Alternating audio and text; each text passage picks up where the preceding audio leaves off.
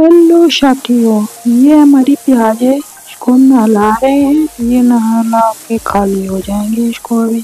फिर इसको हम बीच से किनारे से काटेंगे इसको। ये काट दिया। इसके बाद इसमें दूसरी लग जाएगी। ये देखो नहीं होगी इसकी सर्जरी हो गई। ये हमारे बनाना भाई साहब है।